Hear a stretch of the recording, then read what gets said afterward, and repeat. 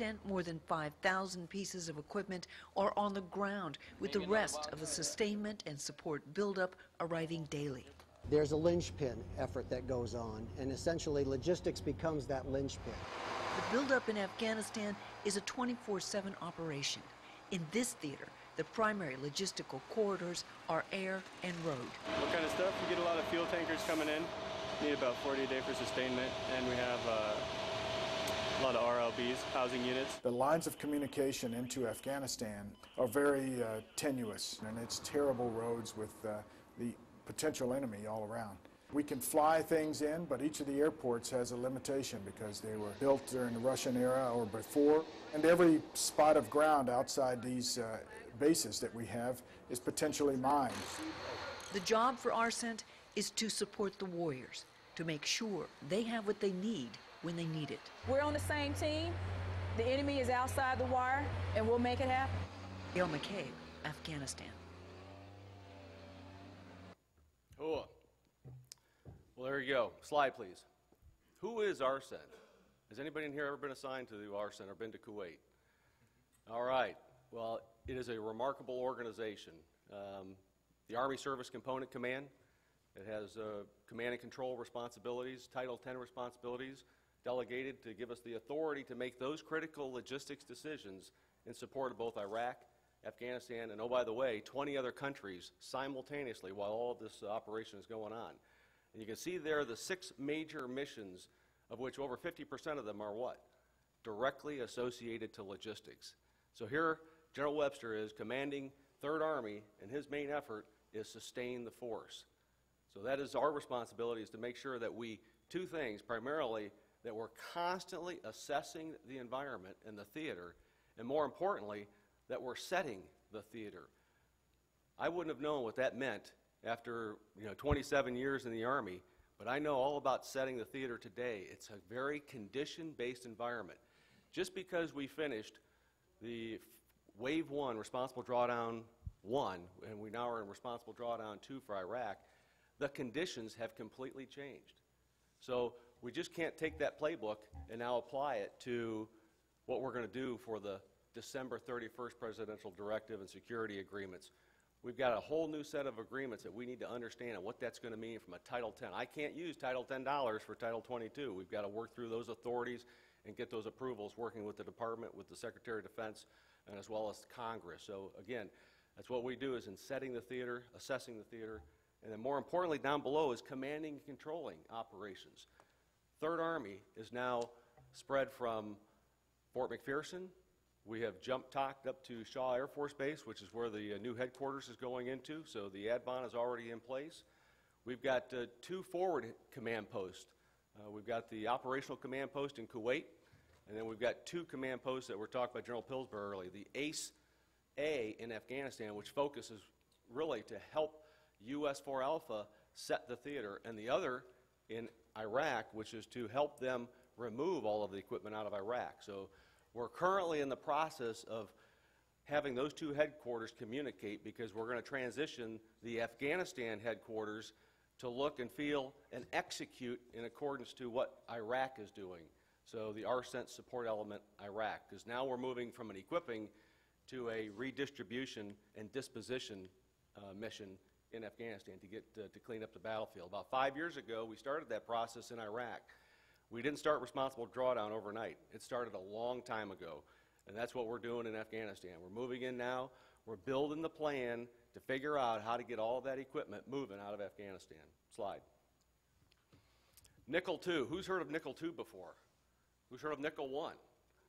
All right, well, this is a operation that General Webster has code-named, and as you can see at the bottom of the chart there, General Patton shifts two divisions to support the 101st Airborne Division at Bastogne within 48 hours. So when the call came, he responded, and he shifted his forces 90 degrees uh, in the Ardennes to the Battle of the Bulge, and uh, he after the, or during the meeting, you know, Eisenhower says, anybody can do this. And he basically put his hand up, and everybody thought he was crazy when he said two days. He walked out of the, the, uh, the meeting, went to the closest phone, said nickel, hung up the phone. Right away, his entire planning staff, just like this room, everybody stood up and moved out and knew exactly what they had to do. Well, that's where uh, General uh, uh, Webster came up with the idea for Nickel 2. He has developed a very deliberate plan, and when the call came for Responsible Drawdown 1, Uplift 1, and now uh, Responsible Drawdown 2, we have worked very diligently with the entire enterprise, AMC, the Department of the Army, OSD, and the theater commanders to develop a plan to execute. And now what we're working is on the fringes. What are those things that we're going to have to do in the event that, oh, by the way, a volcano goes off in Iceland? Oh, by the way, we have an insurgency in Kyrgyzstan.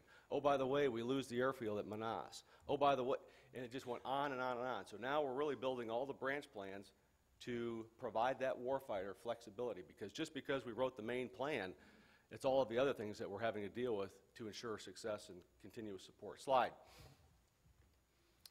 Difficult to read here, but uh, the bottom line is uh, the top part of that chart talks to, as General Stevenson mentioned, we've been doing this a long time. We've got that process down, and we can put any force anywhere in the world now and be successful. But you know what? The conditions are different when you look at the bottom part of the chart. We've now got a clear battle space in Afghanistan. Who's, who's ever done that before?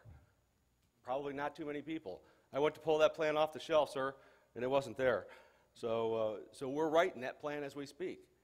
How do you do distribution backwards? Okay? There's not too many FMs out there that say, okay, here's how you redeploy from a war. And, and what's the, the best way to do that? So essentially, we're putting this big engine in reverse. And we all know every party puts their heart, soul, and love into writing that plan to go into an operation. And then they worry about the guys downrange have to worry about getting the heck out of there. Okay, well, we're not going to do that.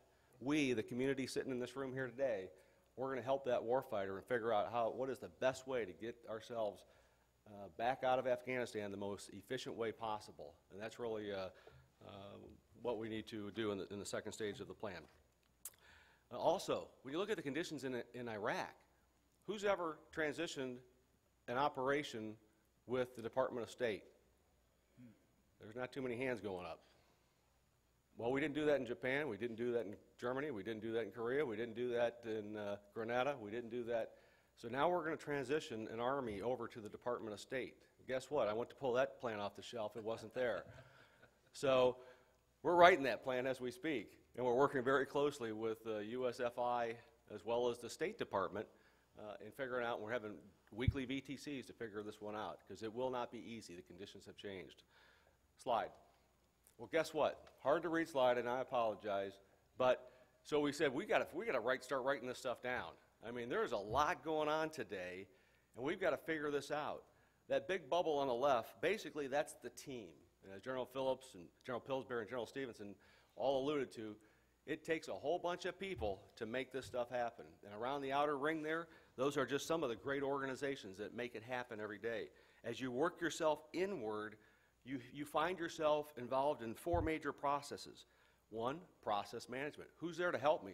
I've got AAA there to help me. I've got the DODIG there to help me. I've got, uh, uh, you name the oversight committee, GAO. They're all there to help and, uh, and work this out. You move to the right, distribution. That's a complex business called distribution. And you look at all the players and the things that are going on in the GLOCs, the ALOCs, setting up uh, central receiving points, uh, DLA, Defense Logistics Agency, uh, so there's all sorts of integration that has to occur. The bottom right, material accountability. Everything we have got to maintain great uh, pro property accountability. And I'll tell you, we didn't do it right early on. And that's no fault to anybody because what? We need to get in there, we need to get the mission accomplished. But guess what? The taxpayer wants to know. GAO wants to know. Where's all my property? I sent $87 billion worth of stuff over there. Uh, do you have the systems, the mechanisms, and the people there to make sure that we've got good accountability? We're working through that and, uh, and regaining that accountability.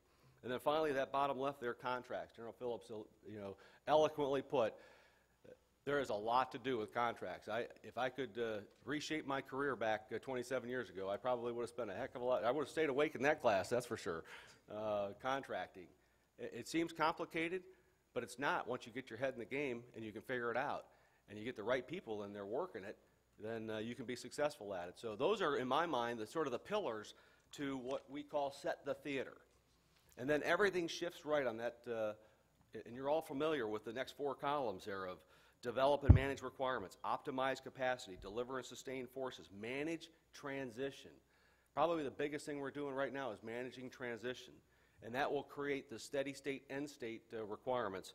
And, uh, and that's what it's all balanced on, is what is the warfighter's requirements? What is my capacity to, to handle those requirements? And oh, by the way, do I have the capability that I leverage off a big Army as Third Army uh, to support the, the warfighter's operational needs? So again, this is a complex process. Very simply put, teamwork plus the plan equals some level of steady state support and allows you to achieve an end state.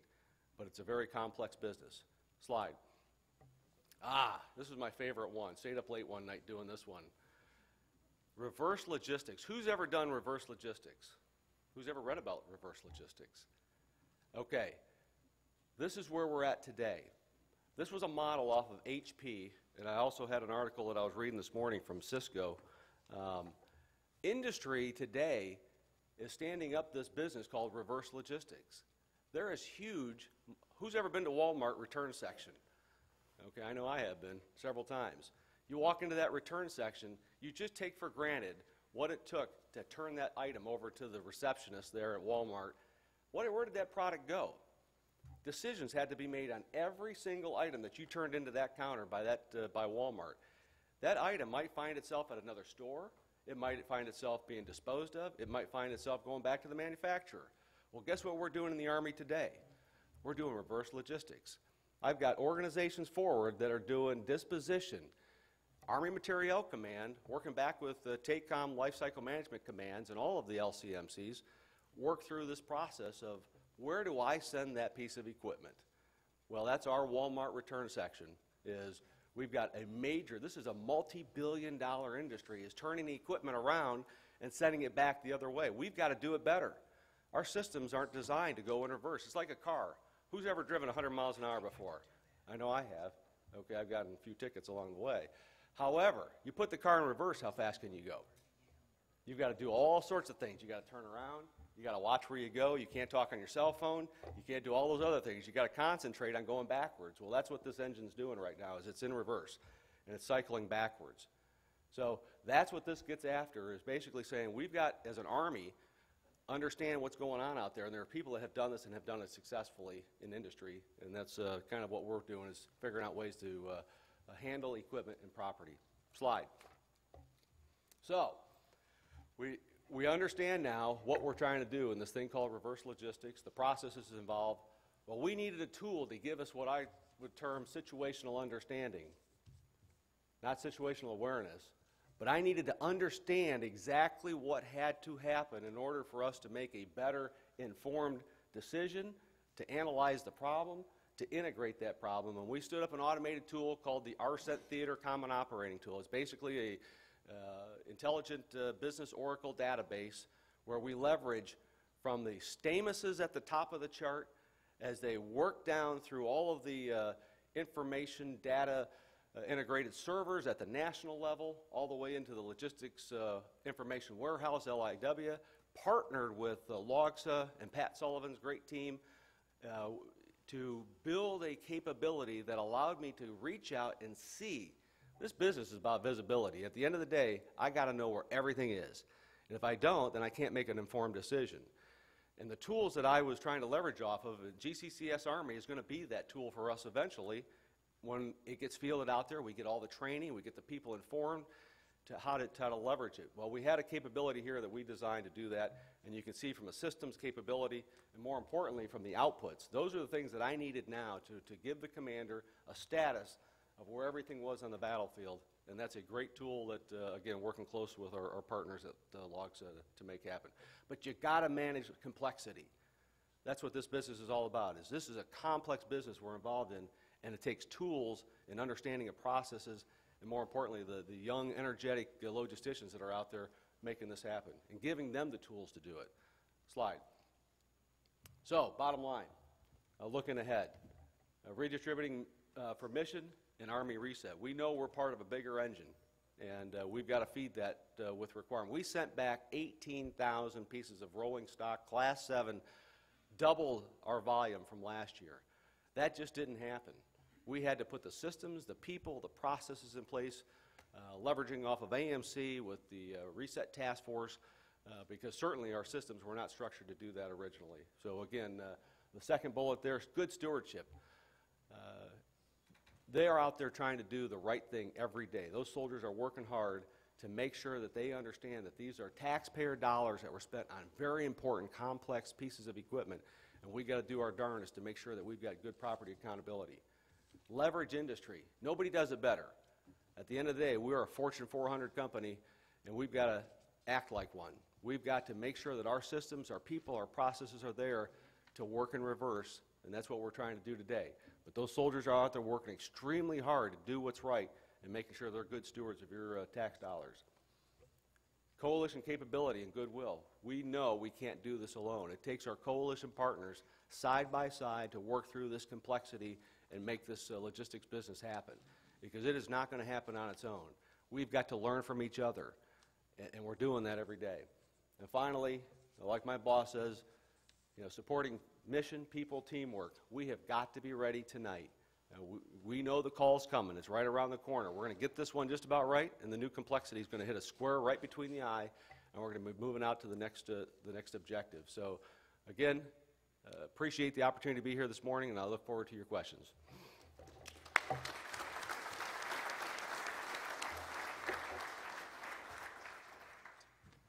Okay, uh, and this brings us to the, my favorite part of these panels anyway. It's a chance to interact with you all and, and see what's on your mind. But while you were thinking, General Solomon lead, led off with the first three questions, so I'll, I'll uh, take a shot at, at one of those and pass the other two to my partners to my left. Uh, first question was, uh, who makes the decision on where the repair of equipment uh, will be that is being reset? Um, Good question. Way back uh, five, six years ago, we began to answer that question with something called the Automatic Reset Induction List. And we got the idea, I was in AMC at the time as the G3, we got the idea from looking at what we did with helicopters as they came back. Every helicopter that came back from the desert, we realized it had been through a significant experience in the heat and the dust and the, uh, and the, the very huge op tempo over there. And so we knew we would have to bring each of those helicopters back, do a systematic tear-down inspection and repair of the helicopters. And it occurred to us that, you know, it's probably not only helicopters that have that problem. So do firefinder radars. So do generators in general. And as we began to tear down some of the combat vehicles that we got back from the desert, we realized that, you know, unless you pull the turret off and look inside the racer ring, you don't really know what's happened inside there in all of that dust and terrible climate. And so we, we worked our way around to, and this list has evolved year after year after year. We just published the FY11 ARI listing that says if it's one, on this list, when you get back, give it directly to AMC. And they will either through their DOLs, through their FLRCs, or through their depots, or through perhaps an OEM, uh, reset it for you, and you won't have to worry about it. Uh, another thing that, that AMC did uh, toward the tail end of my watch was something General Griffin started called the Small Arms uh, Repair and Inspection Teams, the SARIT teams. And basically what it involved is sending the depot to the installation and taking over all of their weapons for, for a BCT that's returned, putting them through a depot level inspection. These are the guys that repair weapons in the depots. They had a bunch of extra weapons with them, so that if they got to one that they couldn't repair because they didn't have the tooling there, they just simply swapped it out. And we do that now for every weapon that comes back. It's gotten to be very popular. We're also doing it with communications, electronics equipment, and NBC equipment. So we got a number of programs, the automatic uh, reset induction listing, these teams that go out from AMC. And if it's not in, in one of those programs, then who does the reset is the unit that owns the equipment. And there's some of that, of course, that goes on as well. So I hope that answers the question. I'll pass the next two questions to, uh, to Jim and to Bill. Uh, There's been talk of depots having first right of refusal. Um, Are we, where are we on that? And it's, it's a great question, but within the Material Enterprise Collaborative Council that um, I sat in on, I guess, about six, eight weeks ago, Bill, with uh, Dr. O'Neill and General Phillips and General Dunwoody, um, we brought that up, and General, and, and that, that when a PM says, uh, I need to have something overhauled, does the PM have to go to the depot? No, doesn't have to. Uh, but Dr. O'Neill thinks that's a good idea, and, and there is work being done within ASALT to have that uh, uh, put into policy. Now, that being said, if our depots aren't competitive, then we're wasting money. Uh, The, the PM has got to be able to be as efficient and effective as he or she uh, can be uh, with, with the taxpayers' dollars. So, uh, and I see a couple of depot commanders and dep- deputies out here. They know that they have to be as lean and as uh, agile as, as any OEM or better to be able to uh, be competitive for the work that goes into um, depot overhaul, if that answers your question. Yes, sir. Bill? Sir, I have the third one, and sir, we had a deal, you were going to give all the hard questions to uh, Jim Pillsbury, so. But, who will prepare the RFPs for the work to be done by the contractor? Uh, The PM are the contracting command? Uh, Sir, some of my personal thoughts go into this as well, having worked this for many years, but it's sometimes a, a- not a simple answer. Overall, the uh, contracting officer that's going to prepare that contract, that includes the specifications, statement of work, and all the clauses that go inside of it, are the responsibility of the contracting officer. In my view, they are the ones that, that ultimately have the role of making sure that it's right. But it takes an incredible team effort to be able to get an RFP uh, correct, as correct as we can get it before we release it for industry. And part of the challenge we have is working through the requirements, it might be a CDD or an ICD or something, translating that into specifications. So when I mention team effort, uh, sometimes it involves TRADOC and the uh, Center of Excellence that has overall responsibility for that item. And it might involve TRADOC headquarters like we're working. Yesterday, we spoke a lot about ground combat vehicle. And there's a lot of great work between TRADOC, Army Material Command, ASALT, bringing together the right kinds of folks to ensure that this RFP has what it needs inside of it. So the contracting officer, at the end of the day, has to rely upon key subject matter experts across a broad community that includes a look really at the life cycle of that program, because the life cycle of that program is going to be inside the specifications and the statement of work that the contracting officer is going to issue. And again, I'll, I'll, I'll say this one more time. It's important that we give industry as clear, as clear and concise guidance as we can uh, when we do issue that RFP. But in my mind, it's the contracting officer, sir. Okay, so I'd like to open the floor up to uh, other questions. We've got some mics here in the center of the room, so that uh, if you have a question, I'd ask that you come forward uh, and grab one of the mics, either the one in the front or the one in the back, and, uh, and lay it on us. We're all yours. Don't everybody move at once. Ah, we got a couple. Couple of takers, good. Um, General Stevenson, you mentioned again uh, nine years of combat operations. So if I could ask you and your fellow panelists, go back 10 years, and at that time you all had certain beliefs of certain things that were absolutely critical for sustainment and support during combat operations. I would suspect that that's changed. And so I'd be interested in uh, general principles, themes. After all, it's a general officer panel, and it's probably good to ask general questions.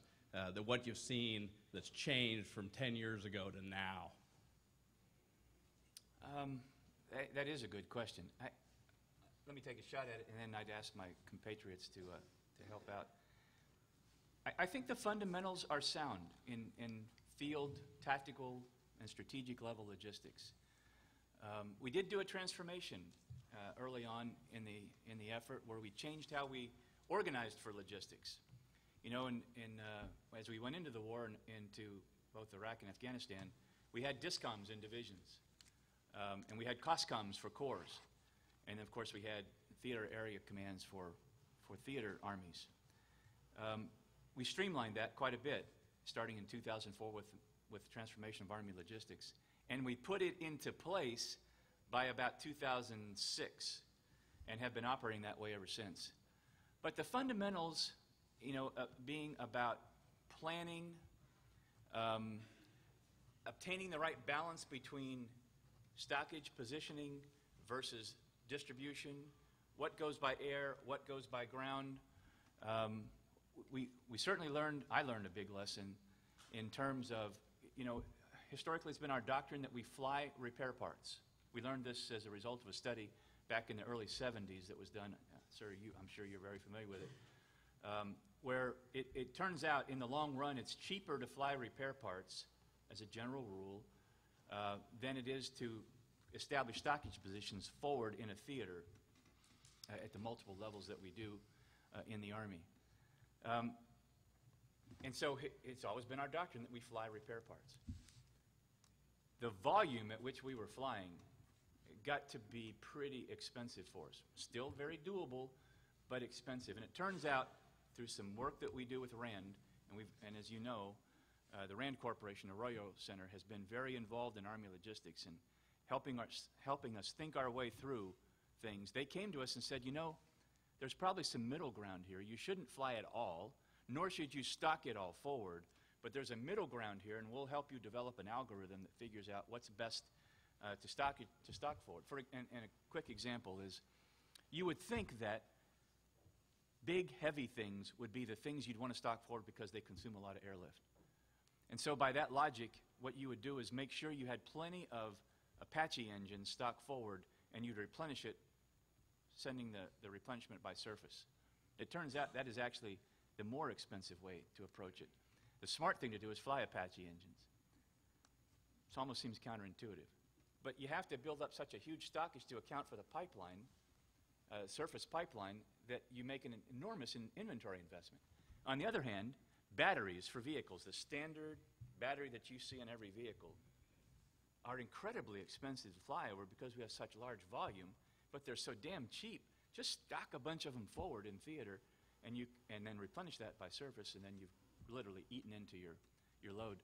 Uh, so that's been a real big lesson for us, um, and, and one that we won't forget, uh, and that we're now incorporating into how we think about strategic level logistics um, around the world.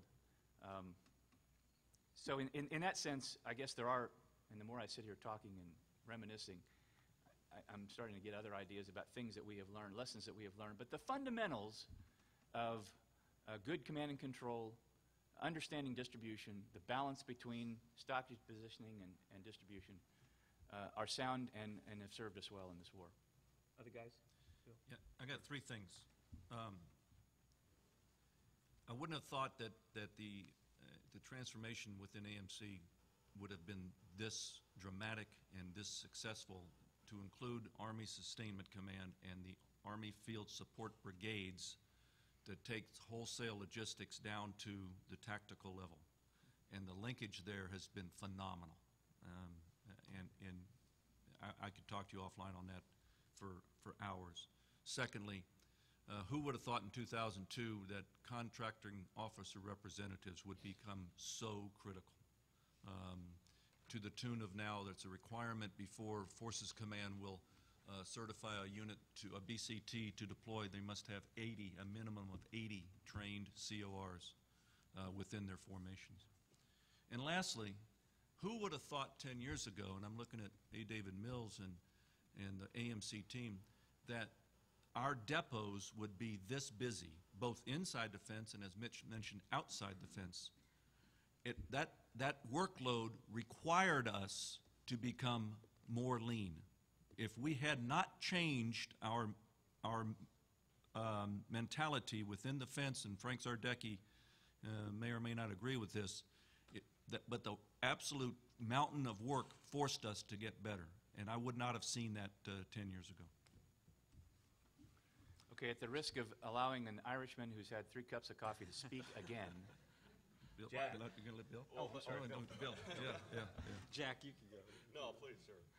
Uh, Just a couple of thoughts to add what uh, Mitch and Jim have already said.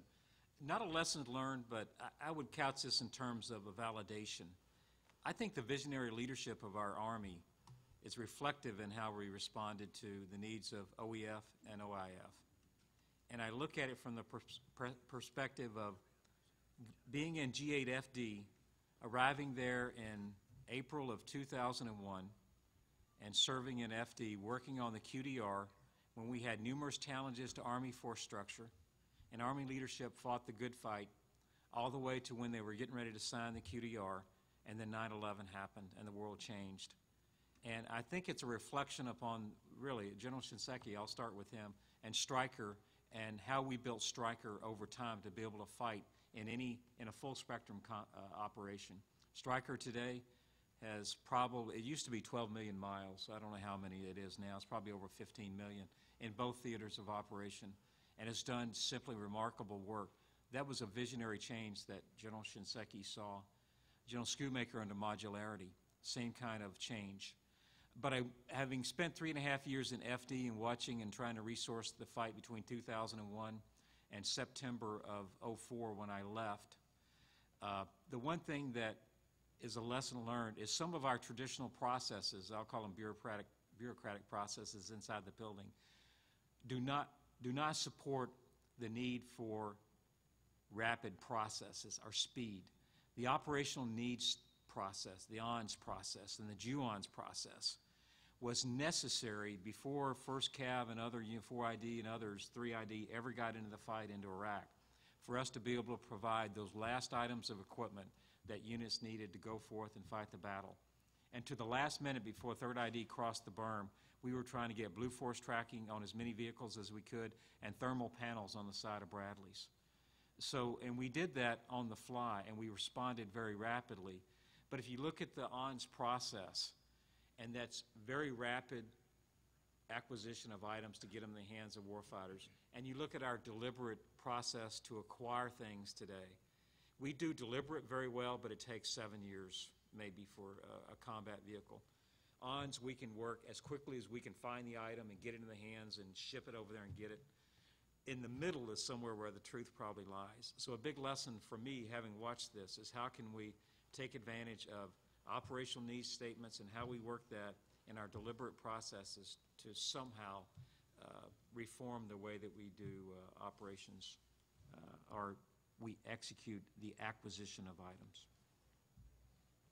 Thanks, Bill. Jack?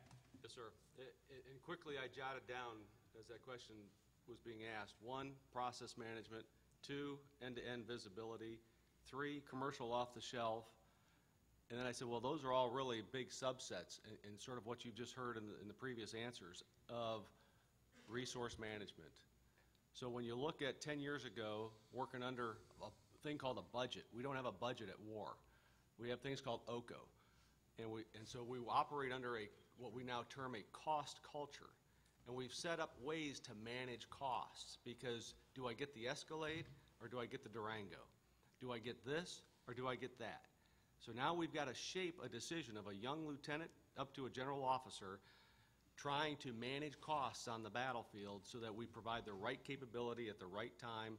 We- At Third Army, we've got a $26 billion budget essentially. And our job is to work within the confines of what are the costs, and we've set up boards and, you know, coalition acquisition review boards, JFUBs, Facility Utilization Board. So really something that you don't train for early on, but in this environment of resource management is what it all boils down to, is